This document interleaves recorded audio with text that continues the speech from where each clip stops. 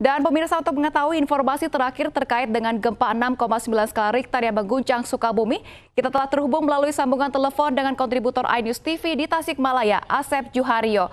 Selamat pagi Asep, silakan dengan laporan Anda. Selamat pagi Priscil dan pemirsa. Pagi ini kebetulan saya sedang berada di MA Al Hikam, di mana uh, di Kampung Jatiwangi, Kelurahan Mugarsari, Kecamatan Taman Sari, Kota Tasikmalaya. Eh, kebetulan di tempat ini adalah salah satu tempat yang mengalami kerusakan akibat gempa yang terjadi uh, beberapa waktu lalu, uh, di mana bagian atap uh, dari uh, sekolah ini hancur dan menimpa sejumlah uh, komputer yang ada di uh, sekolah ini. Uh, jadi pemirsa uh, bisa dilaporkan juga bahwa akibat gempa yang terjadi di uh, tadi sekitar uh, pukul 23.47 uh, itu mengakibatkan kerusakan di sejumlah daerah seperti adanya kerusakan di Aula Kecamatan Taraju serta uh, di Polsek Bojong Gambir Kabupaten Tasikmalaya serta ada beberapa warga yang mengalami luka akibat tertimpa dari uh, reruntuhan gempa itu sendiri. Tapi hingga saat ini belum diketahui secara pasti jumlah kerusakan yang ada uh, terjadi di wilayah kota dan kabupaten Tasikmalaya. Sementara itu untuk uh, korban pun uh, belum bisa diketahui apakah ada korban jiwa atau hanya korban luka-luka saja. Priscil. Iya, Asep, bagaimana dengan penanganan dari gempa yang terjadi Tasikmalaya terkait dengan kerusakan yang terjadi? Apakah terjadi kerusakan sehingga warga harus dievakuasi? Uh, betul. Uh, kebetulan uh, tadi saya sempat ke BPBD Kabupaten Tasikmalaya dan memperoleh informasi bahwa seluruh warga di daerah Cipatujah uh, Kabupaten Tasikmalaya mereka uh, diungsikan uh, dalam artian bahwa diungsikan mereka diungsikan ke tempat uh, yang lebih tinggi agar uh, tidak terjadi hal-hal yang tidak diinginkan karena uh, mereka mendapatkan informasi bahwa akan terjadi tsunami di wilayah Cipatujah Kabupaten Tasikmalaya Priscil. Baik Asep, informasi terakhir warga sempat mengalami kepanikan. Apakah saat ini kondisinya sudah mulai kondusif atau seperti apa? Ya Priscil, uh, jika tadi pas saat gempa warga uh, panik dan sempat uh, keluar rumah, namun uh, saat ini warga uh, berangsur udah uh, kondusif, di mana warga udah uh, kembali pulang ke rumah masing-masing, sementara uh, di sejumlah titik yang mengalami kerusakan, uh, mereka warga melakukan uh, tindakan seperti beres-beres, seperti uh, yang ada di belakang saya ini, kebetulan warga sedang melakukan beres-beres uh, di uh, MA Al Hikam Al Hikmah uh, di Desa Jatiwangi, uh, Kelurahan Mugarsari, Kecamatan uh, Taman Sari, Kota Tasikmalaya, April. Oke, Asep, apakah sudah ada laporan terkait dengan jumlah korban akibat gempa ini? Ya, hingga saat ini kebetulan uh, untuk uh, korban jiwa belum diketahui secara pasti apakah ada uh, terjadi korban jiwa atau tidak, Priscil. Karena uh, yang baru diketahui adalah adalah adanya sejumlah warga yang uh, mengalami luka-luka ringan akibat uh, tertimpa reruntuhan dari bangunan atau atap rumah yang uh, mereka tinggali, Priscil. Ya, baik. Informasi terakhir, Asep, apakah sudah ada laporan masih ada gempa susulan atau saat ini kondisinya sudah mulai kondusif di wilayah Tasikmalaya?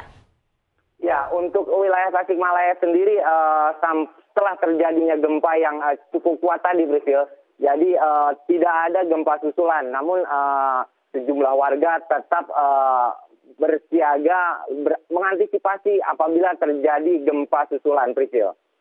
Oke, apakah ada himbauan dari pemerintah setempat untuk warga agar mengungsi atau tetap tenang menghadapi gempa yang terjadi? Ya, Priscil, uh, ada adanya himbauan dari pihak BPBD Kabupaten Tasikmalaya uh, itu menghimbau kepada warga untuk tetap tenang, uh, di mana warga kebanyakan warga yang panik kebanyakan mereka yang ada di pesisir pantai Cipatujah karena mereka mendapatkan uh, kabar bahwa uh, terjadi air surut di pantai Cipatujah sehingga dikhawatirkan akan terjadinya tsunami di uh, Cipatujah sendiri, Priscil. Oke, Asep, apakah Anda bisa jelaskan saat ini Anda berada di mana dan apa yang terjadi pada saat Anda sedang melaporkan saat ini? Ya, betul, Priscil. Kebetulan saya saat ini sedang ada di MA Al Hikmah di Kampung Jatiwangi, uh, Kelurahan Mugarsari, Kecamatan Taman Sari, uh, Kota Tasikmalaya, Priscil. Jadi kebetulan di belakang saya ini uh, sedang warga sedang uh, membersihkan puing-puing dari uh, bangunan yang uh, rubuh uh, akibat atapnya terguncang gempa itu sendiri, Priscil. Iya, di tempat saat ini apakah ada jumlah korban yang Anda bisa laporkan? Karena memang saya lihat juga kerusakannya cukup parah yang terjadi di saat ini Anda melaporkan. Ya, Priscil. Uh, barusan tadi saya memperoleh uh, informasi di sini uh, terjadi uh, adanya satu orang yang mengalami luka uh, robek di bagian kepalanya akibat tertimpa dari uh, bangunan ini sendiri. Uh, begitu, Priscil. Oke, jika saat ini di tempat Anda melaporkan kondisinya ada bangunan yang rubuh, apakah di sekitarnya juga sama ada bangunan yang rubuh juga?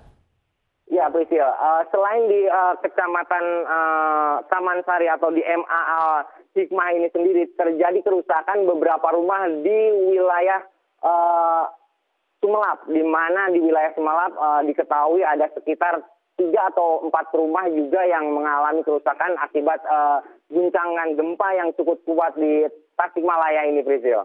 Oke, jika memang kondisinya cukup parah terjadi kerusakan terhadap sejumlah rumah, apakah yang warga lakukan masih berada di tempat tinggal mereka, mengais puing-puing atau mereka sudah mulai mengungsi?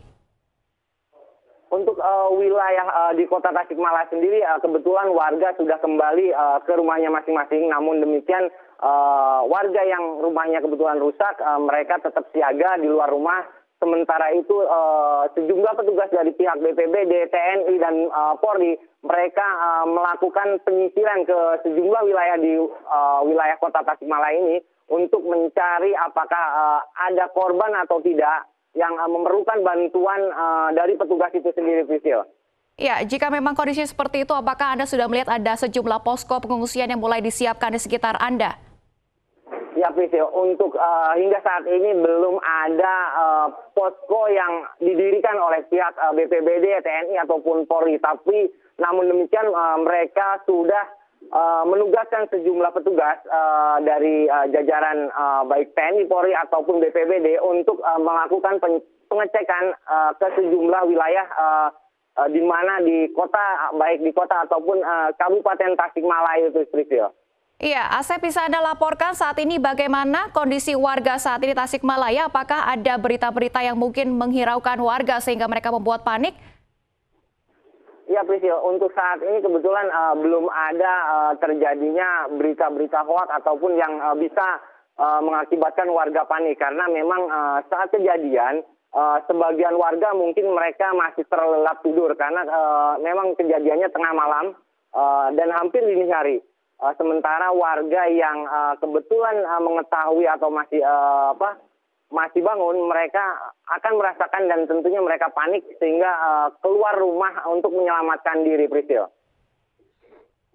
Ya, baik Asep, mungkin Anda mendapat laporan apakah ada kondisi terakhir saat ini dari himbauan BMKB setempat? Apakah nantinya akan ada gempa susulan atau himbauan dari tsunami yang tadi sempat dikeluarkan oleh pihak BMKG? Ya Priscil, kebetulan uh, memang uh, pihak BPBD sendiri uh, mengeluarkan ada uh, pengumuman kepada warga di pesisir pantai, tepatnya di pesisir pantai Cipatujah, di mana warga harus uh, berhati-hati dan uh, diharapkan warga uh, mengungsi ke daerah yang lebih tinggi uh, untuk menghindari hal-hal yang tidak diinginkan karena ada adanya informasi bahwa uh, gempa saat ini bisa mengakibatkan uh, tsunami. Ya, Priscil. Oke, Asep. Berarti saat ini eh, untuk peringatan dini tsunami masih berlaku ya? Belum ditarik oleh pihak setempat?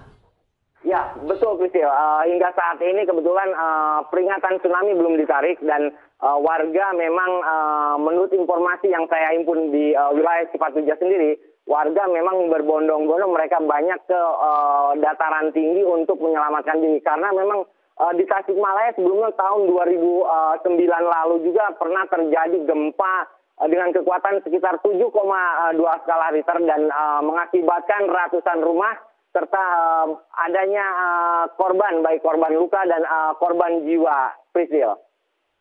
Oke, baik Asep, terima kasih atas laporan Anda dan selamat bertugas kembali. Nanti kami akan nantikan bagaimana perkembangan selanjutnya dari gempa di Tasikmalaya.